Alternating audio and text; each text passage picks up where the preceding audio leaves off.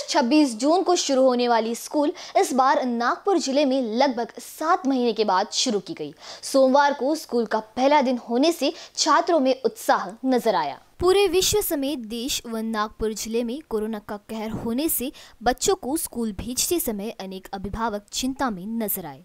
मार्च महीने में कोरोना ने विश्व भर में कहर मचाया। विद्यार्थियों को कोरोना का संक्रमण न होने के लिए 18 मार्च से राज्य के सभी स्कूलों को बंद किया गया था। कोरोना की वजह से विद्यार्थियों की वार्षिक परीक्षाएँ न लेते हुए उन्हें आगे की कक्षाओं में प्रमोट किया गया। इसके बाद जून, जुलाई से शुरू होने वाली स्कूल 14 दिसंबर को शुरू की गई। स्कूल शुरू होने के बाद विद्यार्थियों का फूल देकर कक्षा में स्वागत किया जाता था। लेकिन कोरोना की वजह से इस बार विद्यार्थियों की थर्मल स्क्रीनिंग व ऑक्सीमीटर से ऑक्सीजन की जाँच की गई। इसके बाद सभी को हाथ धोने के लिए सैनिटाइजर व हैंड वॉश दिया गया। स्कूल में आने वाला प्रत्येक विद्यार्थी मास्क पहनकर आया था। कक्षा में एक बेंच पर विद्यार्थी व दो विद्यार्थियों में एक बेंच छोड़कर बिठाने की व्यवस्था की गई थी।